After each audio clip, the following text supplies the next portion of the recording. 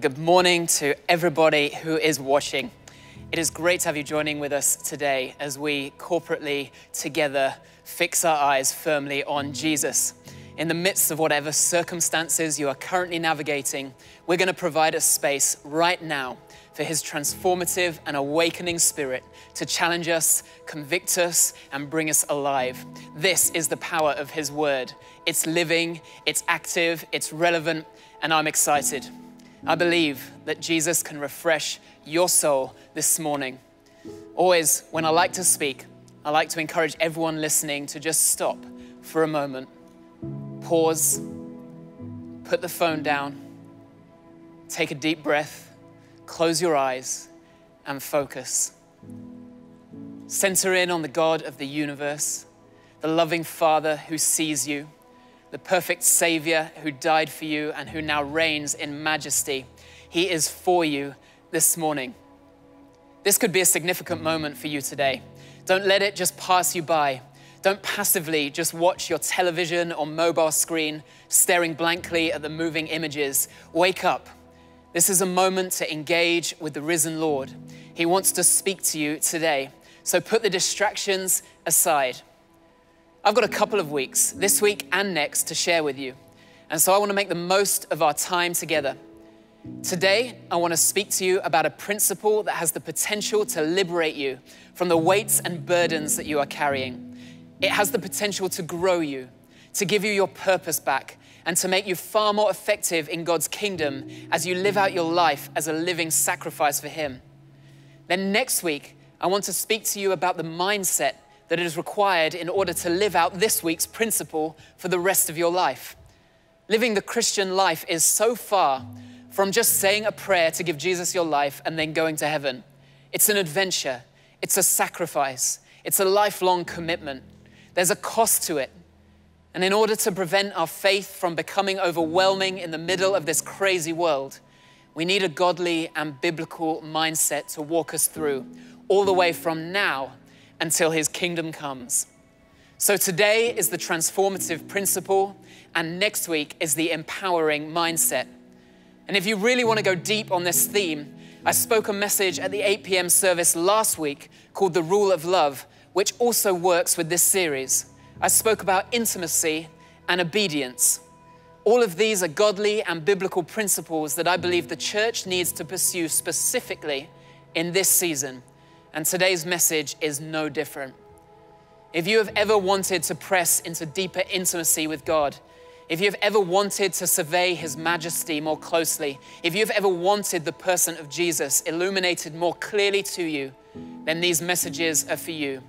I believe that they're going to help you. So, shall we pray?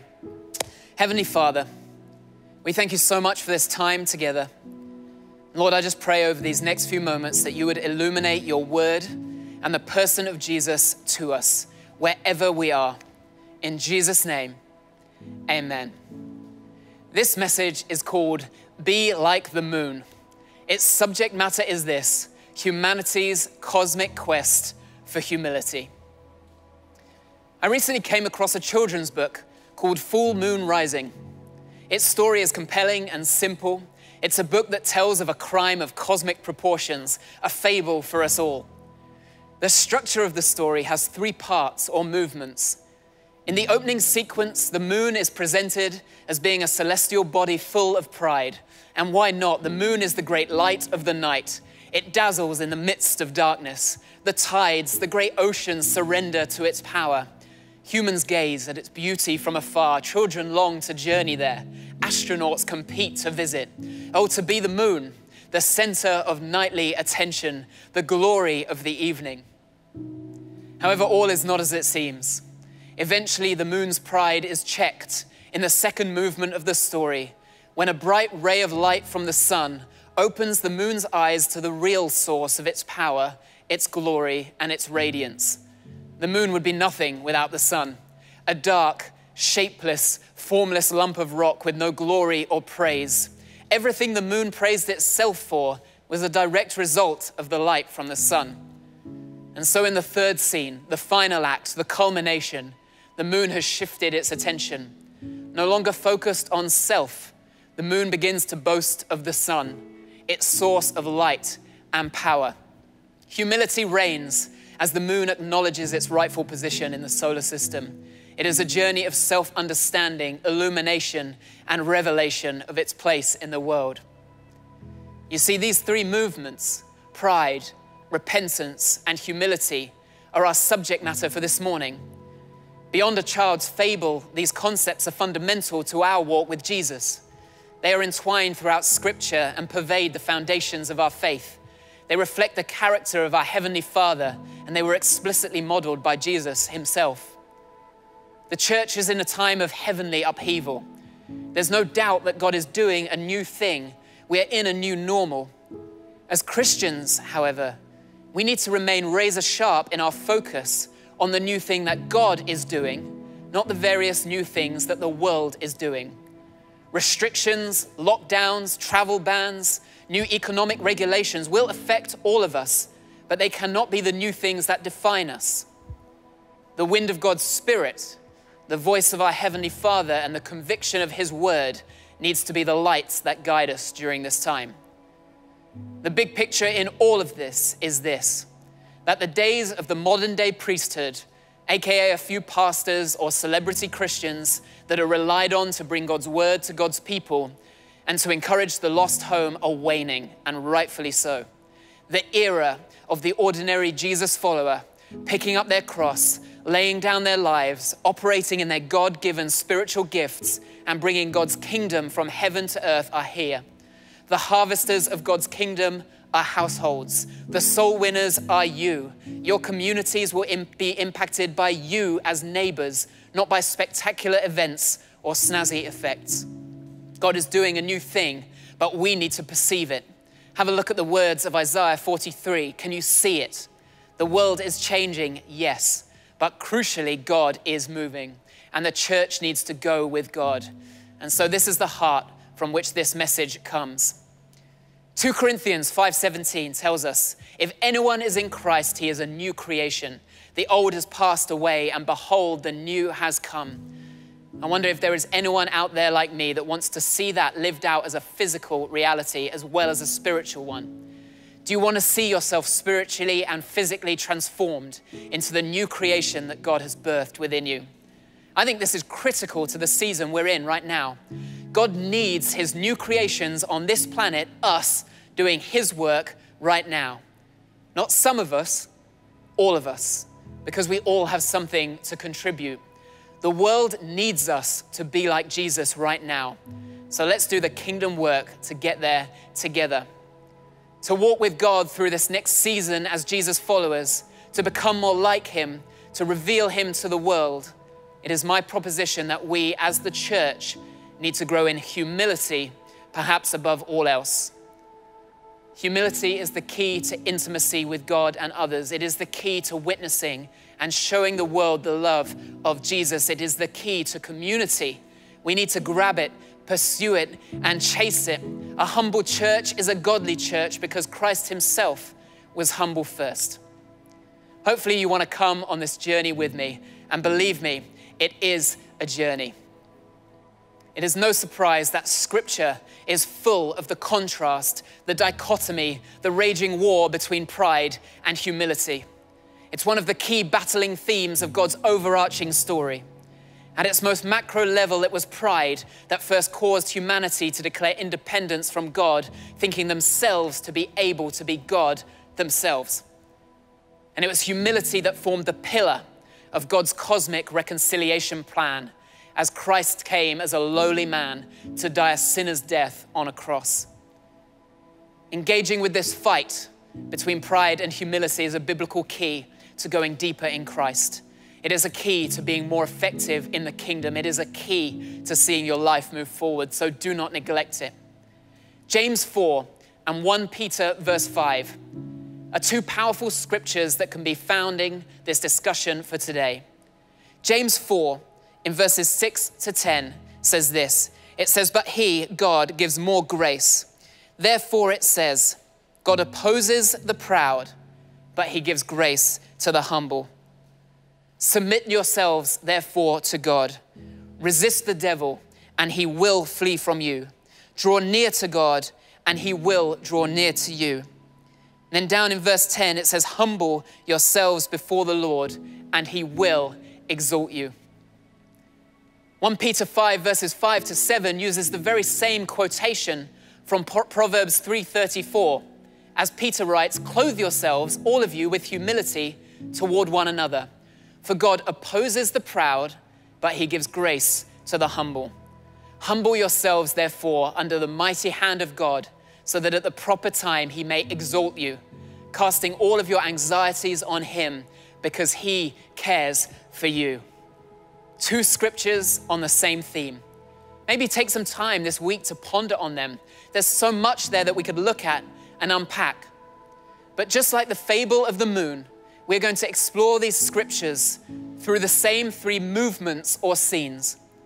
We will start by analyzing pride and its indicators before discussing what repentance and transformation looks like in this area. And finally, we will center in on the beauty and the power of humility, and in particular, the humility of Jesus. It's important to share at this point that I preach this message to you as a participator on that same journey. It's so easy for a preacher to preach on humility and give the impression that he or she has become the master of said humble nature and is slightly condescendingly and smugly telling everyone else to get more humble. I absolutely do not want that to be the case here. I want to clarify to you right now that this too is my struggle. Pride captures me and I hate it. So often in my own life, I put myself first. My schedule, my thought life, and my behaviors get dictated by my own agenda. My ego so often deceives me and tells me that somehow I am better, more deserving, or more qualified than others in various areas of my life. Sometimes my pride reveals itself as competitiveness, sometimes as jealousy, sometimes as insecurity or false humility. It's a virus that has to be removed, and as I preach to you, I'm preaching to myself as well. So I too am bringing a willing spirit today and making a choice to allow the Holy Spirit to do a work in me. God's Spirit is like a fire, it consumes, it burns, and it leaves only the precious metal. And this is what I want. So today, ask and allow the Holy Spirit to do its work in you. Feel the heat of the spiritually purifying flames as they destroy every ounce of self righteousness and conceit, and then marvel at the new creation that God has birthed within you. This can be a significant day, I believe, for us all. And so, movement one of our story and our journey is this the peril of pride. C.S. Lewis describes pride as the essential vice and the utmost evil. He writes that unchastity, anger, greed, drunkenness, and all of that are mere flea bites in comparison. It was through pride that the devil became the devil. Pride leads to every other vice. It is the complete anti God state of mind. Pride is a sin because of its self centered rather than God centered perspective on life. We often find ourselves inordinately proud of what we have accomplished and who we are, and in turn, we don't give thanks to the Lord, our true source of strength. Pride so often loves to ask the questions like, Who do they think they are? And don't they know who I am? Pride comes in so many forms and disguises. So don't be quick to say that this doesn't apply to me. We so often live like the moon at the beginning of the story, reveling in our own light and showing off our own beauty without acknowledging that it didn't come from us. Pride is like bondage for our soul. It crushes us. It causes anxiety. It is constantly competing. It destroys relationships. It puts up barriers to intimacy. It is like the addictive drug that we keep going back to even though it destroys us. 1 John 2, verse 16 reminds us starkly that all that is in the world, the desires of the flesh, the desires of the eyes, and the pride of life, is not from the Father, but is from the world. Pride is fundamentally anti God. Remember the scriptures that we read God opposes the proud. That blows me away and simultaneously breaks my heart. As I am proud, I am putting myself in direct opposition to my loving Heavenly Father who wants the best for me. I'm setting myself up against Him. I am, in all of my folly, competing against God. It's a horrible thought. And so, if we're going to embark on this quest to kill our pride, we first need to expose it. And this is sometimes one of the hardest things to do. C.S. Lewis again says if anyone would like to acquire humility, I can, I think, tell him the first step. The first step is to realize that one is proud, and a biggish step too. At least nothing can be done before that. If you think you are not conceited, it means you are very conceited indeed. So let's embrace that action point and do a quick six step diagnostic check on our own pride. Perhaps you can answer these questions in your notebook or journal at home, or rate yourself out of 10 on how you think you're doing. These are the questions which have helped me so much in my own journey, and I believe they will help you to unearth your hidden pride and locate it within your life so that you can move prayerfully towards challenging it with the help of the Holy Spirit. First question is this How are your gratitude levels right now? A lack of gratitude for various things in our lives reveals a spirit of entitlement and pride. Entitlement says, Of course, I should receive this thing. I deserve it. I've earned it. Second question In what areas of your life are you acting superficially? When pride lives in our hearts, we're far more concerned with others' perceptions of us than the reality of our own soul. We fight the sins that have an impact on how others view us and make peace with the sins that nobody sees. Third question Who are you jealous of right now and why? Envy and covetousness are classic indicators of pride. We yearn for the honor and celebration given to others. We compete in order to come out on top. We think thoughts like, I should have what they get to have. Question four Where am I making exceptions for myself in my life in areas where I would hold others to higher account? I love this one because it is simultaneously so painful but revealing. This helps you realize where you are subconsciously believing yourself to be better or more important than others by the way that you're acting. You don't like it when others are late, but you'll always make an exception for yourself when you are late. You know the golden rule in Matthew 7, verse 12, and you know that we should be slow to anger and that we should answer softly, but you're justifiably angry right now, so you'll speak harshly and make yourself the exception.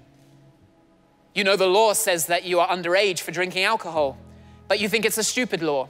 You're not going to get drunk. You just want to have some fun with your friends. So you will make yourself the exception. You get the picture?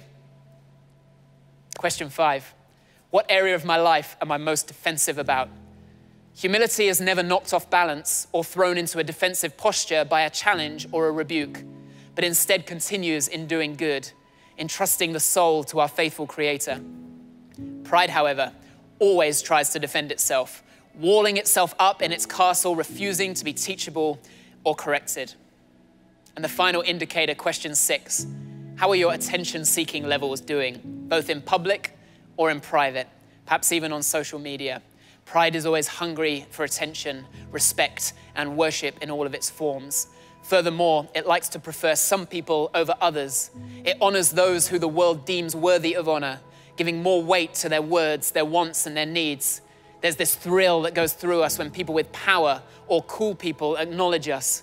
We consciously or subconsciously then pass over the weak, the inconvenient, and the unattractive because they don't seem to offer as much. These are such challenging but revealing questions. I promise you they will help you. So let me encourage you today take some time to answer them honestly and give them to God. He wants to help you move forward in this area. You see, once pride's toxicity and destructive nature has been exposed and acknowledged, the journey of repentance and sanctification can begin. This is the second movement in our story, the searing heat of sanctification. This speaks of the long road of joyful obedience, walked intimately and hand in hand with our Savior. It's never too late to start. It's the road of transformation. It's the road towards discovering who we were born to be without our pride and ego, but with the identity our Creator gave to us. The relational dynamic with God becomes clear in this. Those who value being with Jesus will not only end up becoming like Jesus as the Spirit sanctifies them and literally forms Christ within them, but they will also start doing what Jesus did. Sanctification is simply a long word to describe the process of increasingly being possessed and permeated by the character traits of Jesus. As we walk in the easy yoke of discipleship, with Jesus as our teacher. So, to stay with our space analogies this morning, consider a spacecraft as it re enters the Earth's atmosphere. Traveling at incredible speeds, the spacecraft is navigated through a predetermined course from the vacuum of space into the atmosphere of the Earth. Objects entering the atmosphere experience atmospheric drag, which puts mechanical stress on the object and intense aerodynamic heating. These forces can cause loss of mass or even complete disintegration of smaller objects, and objects with lower strength can explode. This is sometimes how I think of sanctification. It is like this guided journey into the throne room of Jesus' majesty. In the book of Hebrews, God is described as a consuming fire. He is so pure, so perfect, and so holy that anything impure or unholy that comes in contact with him is completely consumed, disintegrated, and destroyed. Because of Christ's finished work on the cross, we are now a new creation. That was that verse from Corinthians earlier. We are spiritually united with Christ and born again into the image of Christ, made perfect and holy through Christ's blood. However, we still live in our fleshy bodies, and our perfect transformation will not be completed until Christ comes again. The process of sanctification is the burning off of all of the destructive rubbish in our lives, the destructive thought patterns as we grow in intimacy with Jesus, to leave only the creation that God designed us to be, made perfect, made holy. It is why Paul is, so able, is able to so confidently declare in Galatians 2:20 that I have been crucified with Christ. It is no longer I who live, but Christ who lives in me. The life I now live in the flesh, I live by faith in the Son of God who loved me and gave himself for me. The defeat of our pride will not be instant. It will not be quick. It will be a fiery journey, walked out over time with many failings, many stumbles, and many falls. But as our scriptures today promise us, as we draw near to God, He will draw near to us. That's a guarantee. And the closer God is to us, the deeper the intimacy, the more of our fleshy, worldly desires will be burned away in the atmosphere of God's presence. So give yourself space and time and grace for this journey. Prioritize intimacy with Jesus. Seek Him, pray, and ask for help. Be intentional about bringing your struggles to Him. Say sorry when you make a mistake and expect the Spirit to move as you put your faith in Him. Furthermore, don't do this journey of transformation alone. God has already provided us help in the form of our brothers and sisters in our church family. Since our pride so often skews our self perception, we need, we need their candid and honest and vulnerable observations of us as mirrors to help us see our blind spots. Often people will be hesitant to volunteer it. So we need to humbly and proactively ask them for it and make it safe for them to answer honestly. Sanctification is a journey. It is a community activity. It is painful at times, but ultimately it is glorious as the weight of pride is lifted from our shoulders and we can see the world clearly again.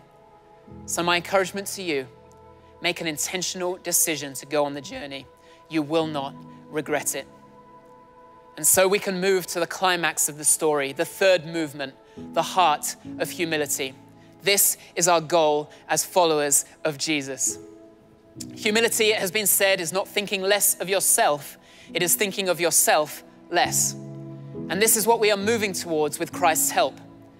I love Spurgeon's observation when he says, The throne of humility must be the heart. I do hate of all things that humility which lives in the face. This quest for humility is about a deep inward heart transformation. It's not surface level, it's the fundamental transformation of God within you. And it's possible for you. Do not disqualify yourself from getting in this direction. Jeremiah 9, verses 23 to 24 says, Thus says the Lord, let not the wise man boast in his wisdom, let not the mighty man boast in his might, let not the rich man boast in his riches, but let him who boasts boast in this that he understands and knows me, that I am the Lord who practices steadfast love, justice, and righteousness in the earth. For in these things I delight, declares the Lord. Humility will ultimately reveal to you the majesty of Jesus. It will help you to take your eyes off yourself and live a Christ focused life, glorifying Him and serving others. In the Rule of St. Benedict, originally written in 516 AD, which sets out a humble lifestyle in a community who live, work, and pray together, five levels of humility are established. Humility in our relationship with the divine, humility in our relationship with those who have an official role in our lives, humility in our attitude about ourselves, humility in our attitude towards the circumstances of our lives, and humility in our actions and attitudes towards others. It is worth thinking about.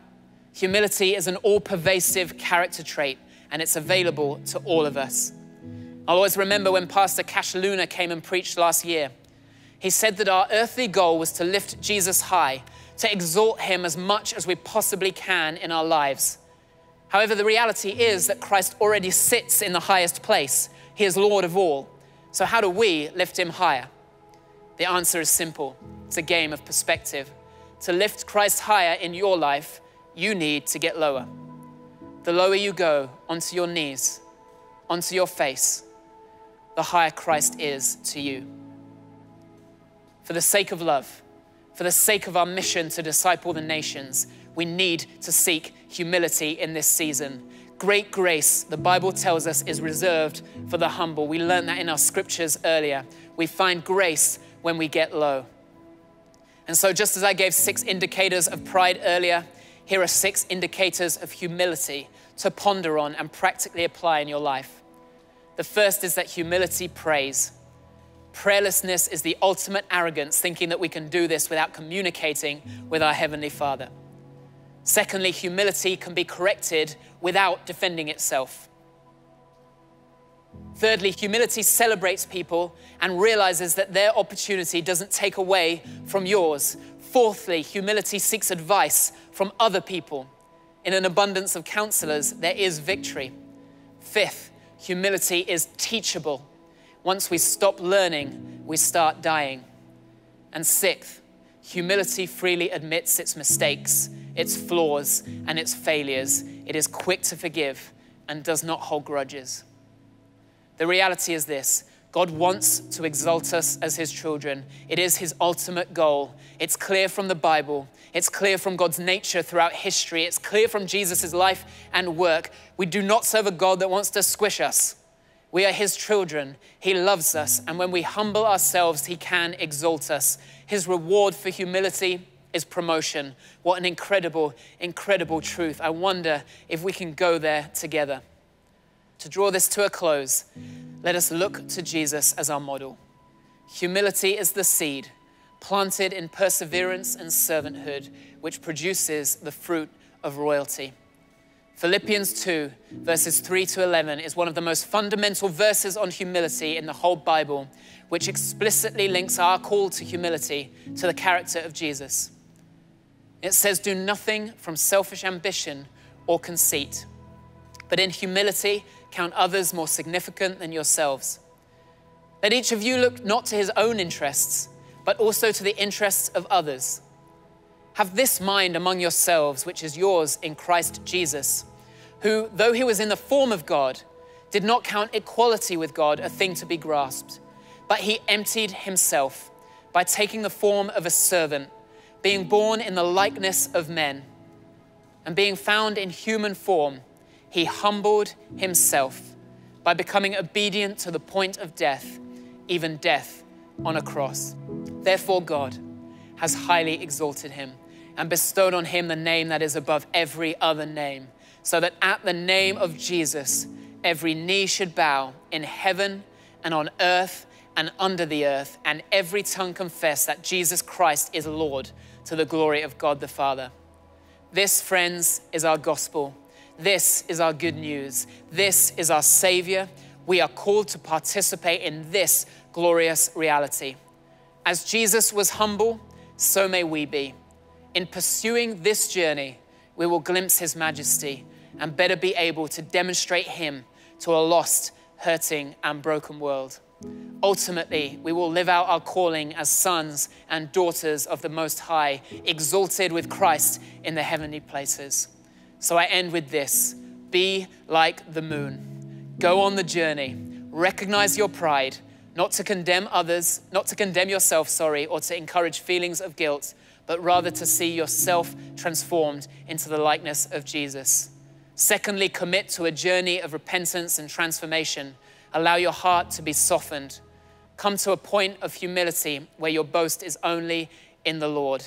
This is the final movement, because in doing so, you will become more like Christ. And this is my prayer for all of you today.